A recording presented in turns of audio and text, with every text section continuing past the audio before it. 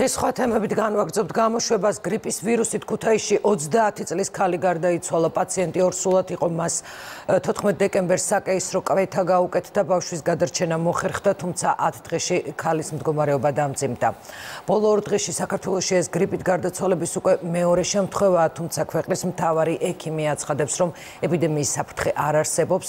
დავით საგარელი გვერდება ამ თემით ახლა პირდაპირ ეთერში დავით გისმენთ ეპიდემიის საფრთხე იარსებებს იმ შემთხვევაში თუ კი 100000 მოსახლეზე ინფიცირების მაჩვენებელი 500 გადააჭარბებს, თუმცა როგორც ჯანდაცვის მინისტრი აცხადებს, ამ შემთხვევაშიც მისი უწყება მობილიზებულია და მზად არის. რაც შეეხება სპეციალისტების რეკომენდაციებს, ისინი გვეუბნებიან, რომ არასდროს არც ერთ შემთხვევაში არ მიმართოთ თვითკურნალობას და უარი ვთქვათ ანტიბიოტიკებზე, რომელიც ამ შემთხვევაში არის გამოუსადეგარი. პაციენტმა უნდა მიიღოს მხოლოდ ექიმის მიერ დანიშნული ანტივირუსული პრეპარატები. ასევე გრიპის სიმპტომების არსებობის შემთხვევაში დაუყოვნებლივ მიმართეთ ოჯახის ექიმს, ეს არის სპეციალისტების რეკომენდაციები და არასასწრაფო სამედიცინო დახმარების ბრიგადებს. განსაკუთრებული ყურადღებისკენ მოუწოდებენ რისკ ჯგუფის პაციენტებს ექიმები და აცხადებენ, რომ განსაკუთრებით საშიში ვირუსი სწორედ ამ შემთხვევებში არის ქრონიკული დაავადებების და ორსულობის შემთხვევაში. სწორედ ეს გახდა მიზეზი 30 წლის ქალბატონის გარდაცვალებისას შემთხვევა ქუთაისში დაფიქსირდა. გრიპის მორიგი მსხვერპლის საავადმყოფოში სიმპტომების გამოვლენიდან მესამე დღეს მივიდა. პაციენტის მდგომარეობას ისართულებდა რომ 30 წლის ქალი 38 კვირის ორსული იყო. საკეისრო კვეთის შემდეგ ჩვილის მდგომარეობა სტაბილურია. დედის გადარჩენა კი ექიმებმა ვერ შეძლეს.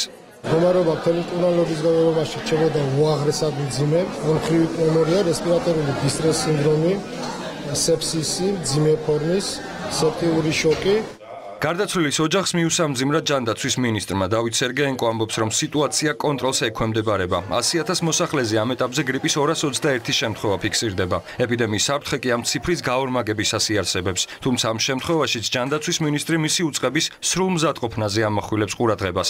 მნიშვნელოვანი არის რომ ყველა მიცოდეს გრიპის სიმპტომების დაწყება და ყველა მიმართოს ამ სიმპტომების შემთხვევაში ოჯახის ექიმს. პანიკის საფუძველს ვერც ამირან გამკრელიძე ხედავს. დაავადებათა კონტროლის ეროვნული ცენტრის ხელმძღვანელი სიფრთხილისკენ მოუწოდებს რისკ ჯგუფის პაციენტებს.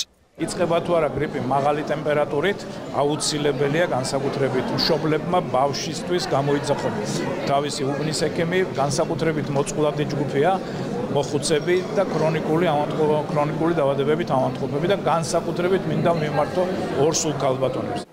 სპეციალისტები ამბობენ, რომ გრიპის პრევენციისთვის აცრა ამ ეტაპზე დაგვიანებული არ არის. ვაქცინაცია 3 წლის ასაკიდან არის ნებადართული და საშიშროებას არც რისკ ჯგუფის პაციენტებისთვის წარმოადგენს, თუმცა არსებობს გამონაკლისიც.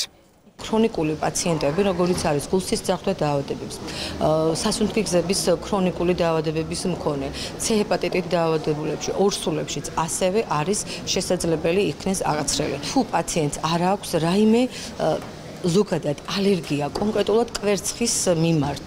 ან ანამნეზით რომელიმე აცრის დროს არისო დაფიქსირებული ალერგიული გამოვლენებები სპეციალისტები გვაფრთხილებენ თუ გრიპის პრევენცია ვერ მოახდინეთ თვითმკურნალობაზე უარი ვთქვათ. სრულიად გამოუსადეგარია ანტიბიოტიკების მიღება. გაცილებით ეფექტურია ანტივირუსული მედიკამენტები რომელსაც ოჯახის ექიმი დანიშნავს. ავადმყოფი ადამიანი პირველ რიგში უნდა იყოს სახლში უნდა იყოს არ უნდა დავიდეს სკოლაში, არ უნდა დავიდეს სამსახურში, არ უნდა გაუშვათ ბაღში.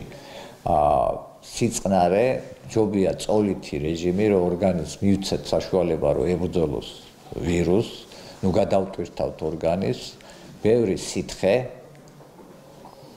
და 38 ნახევარს თუ გადაცდა ტემპერატურა, აუცილებლად სიცხის დამწევი რომელიმე პრეპარატი კიდევ ერთი რჩევა ოჯახის ექიმთან კონსულტაციას ეხება. ეს იმ შემთხვევაში თუ კი ბავშვს 38 გრადუსზე მაღალი ტემპერატურა 24 საათის განმავლობაში უფიქსირდება. რაც შეეხება მოზრდილებს მედიკოსების ჩართვა საჭიროა მაშინ, თუ ცხელება მესამე დღესაც აღენიშნებათ. სპეციალისტების თქმით, გრიპის ვირუსი იანვრიდან იკლებს. თებერვლის დასაწყისიდან კი ინფიცირების შემთხვევები კვლავ იმატებს.